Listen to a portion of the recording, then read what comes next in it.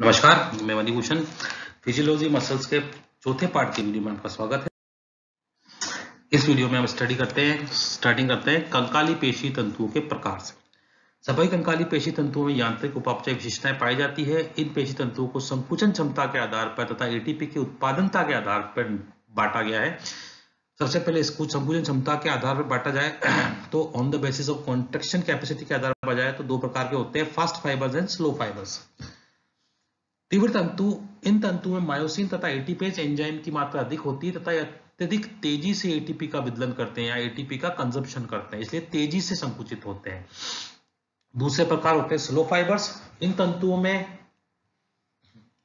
Myosin तथा ATPase enzyme की मात्रा कम होती है।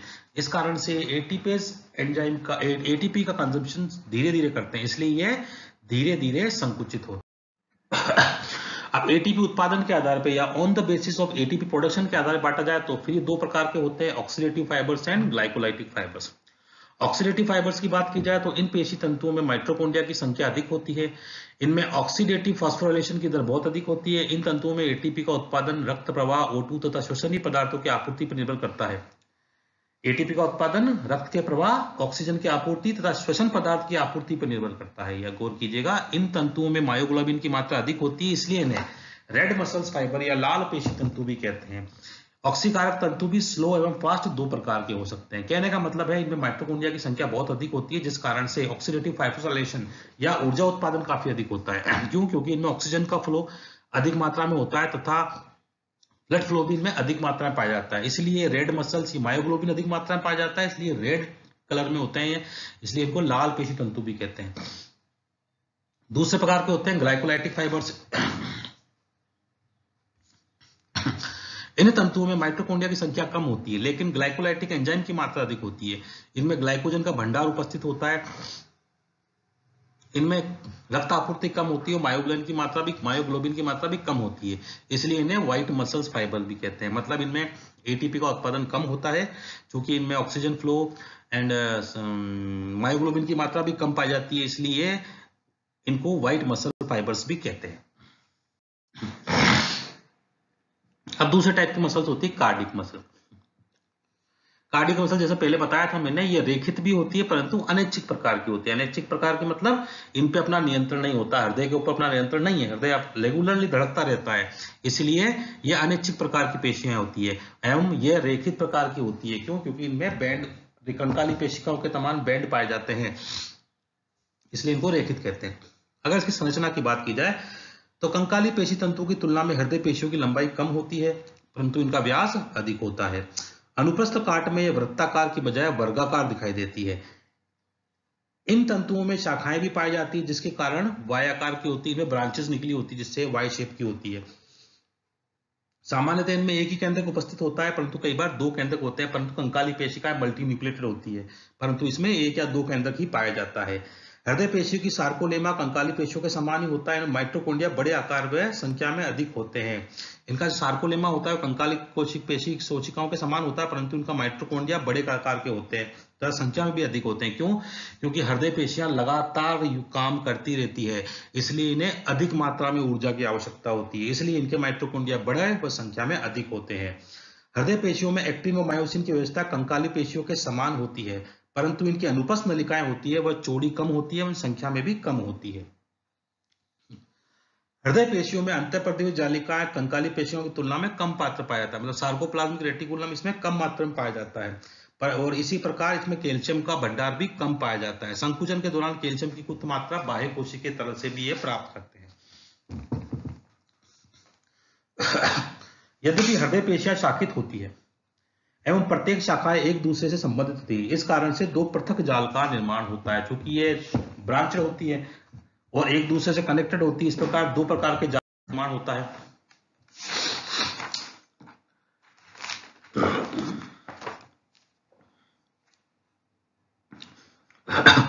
प्रत्येक जाल में पेशी तंतुओं के सिरे आपस में सार्कोलेमा की मोटी अनुपस्थ डिस्क के द्वारा जुड़े होते हैं, जिसे इंटरकैलेटेड डिस्क कहते हैं। मतलब प्रत्येक जाल में जो सिरे होते हैं अलग अलग पेशी के, वह इंटरकैलेटेड डिस्क के द्वारा एक दूसरे से अटैच होते हैं। इसी पर, इसी कारण से सभी हृदय कोशिकाएँ एक यूनिट या एक इकाई के रूप में काम करती है और एक साथ और एक लय के रूप में धड़कती है। क्यों? क्योंकि ये आपस में सब कनेक्टेड होती है इंटरलेटेड कलेटेड डिस्क के कारण से।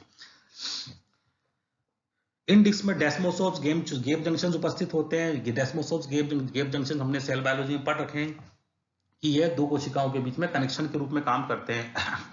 इसी, इन्हीं इन्हीं सब गुणों के कारण हृदय कोशिकाएँ एक इकाई के रूप में काम करती है, जो आगे बताया गया। ये एक प्रकार की संरचना दिखाए, कार्डियक मसल फाइबर्स किस प्रकार के होते हैं, डेस्मोसोम्स पाए जा रहे हैं। माइट्रोकोन्ड्रिया बड़े आकार के पाए जा रहे हैं सार्कोलिया पाया जा रहा है, न्यूक्लियस पाया जा रहा है, और ये देख सकते हैं कि इनमें वाई आकार की संरचनाएँ बन रही है, और ये गेप जंक्शन और इंटरकैलेटेड डिस्क के द्वारा ये सभी शाखाएँ आपस में जुड़ी हुई है, जिसके कारण हृदय पेशियाँ एक यूनिट के रूप में या इकाई के रूप में कार्य करती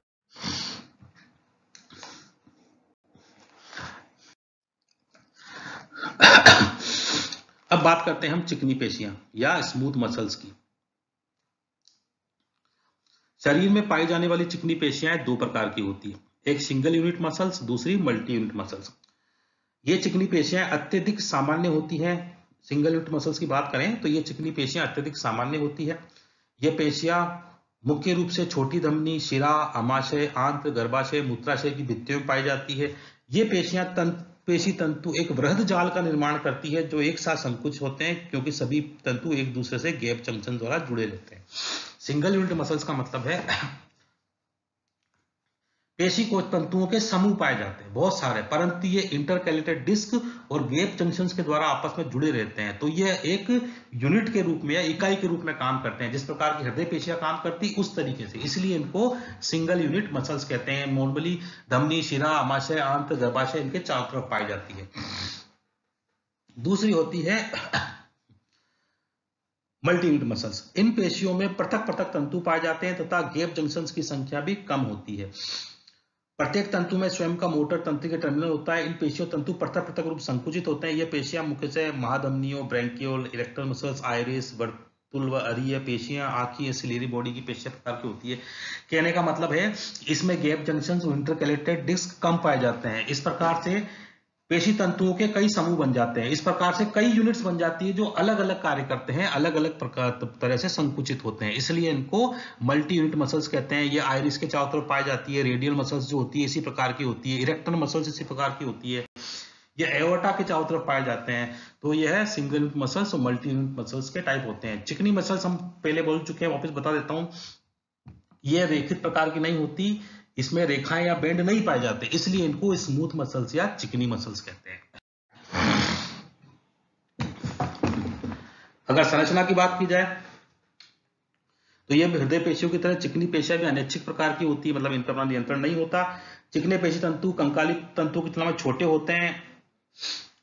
30 से 200 मिलियन लंबे, मध्य में मोटे तथा दोनों सिरों पर नुकीले होते हैं। प्रत्येक तंतु एंडोमायोसिन द्वारा घिरा रहता है। प्रत्येक तंतु में एक केंद्र उपस्थित होता है यह भी यूनिन्यूक्लेटेड होती है।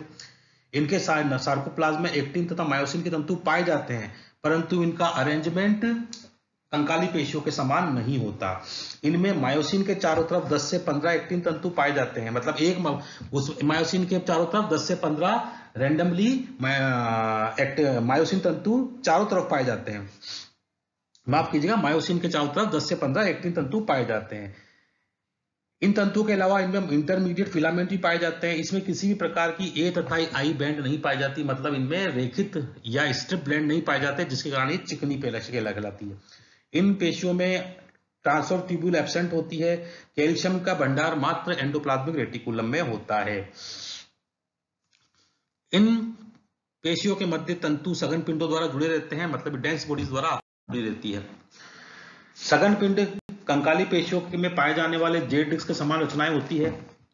मध्यवर्ती तंतु एक डेंस बॉडी से द्वितीय डेंस बॉडी तक फैले रहते हैं। एक्टिन तथा मायोसिन पेशियों के संकुचन के कारण तनाव उत्पन्न होता है। यह तनाव मध्यवर्ती तंतु को संचित होता है एवं संगन पिंडों को खींचता है। इन पेशियों के संकुचन के कारण प्लाज्मा में बिल झिल्लियों में बुलबुले जैसी संरचनाएँ बनती है। यह एक इनका नॉर्मल स्ट्रक्चर दिखाया गया। सिंपली अगर सामान्य भाषा में कहा जाए तो इसमें एक एक तो पहली बात तो इसमें बैंड नहीं पाए जाते चिकनी पेशियों में, जिसके कारण से इसमें रेखाएँ नहीं बनती, जिसके कारण ये चिकनी पेशियाँ कहलाती है। दूसरा, इनमें भी एक्टिन मायोसिन फिलामेंट पाए जाते हैं, परंतु इनका अरेंजमेंट स्केल्टल मसल्स के द्वारा बिल्कुल व्यवस्थित नहीं होता, ये रेंडमली अरेंज होते हैं। दूसरा, इसमें ट्रांसफ़र ट्रांसफ़र ट्यूब्यूल्स नहीं पाई जाती, मात्र एंडोप्लाज्मिक रेटिकुलम पाई जाती है, जो कैल्शियम को स्टोर करते हैं।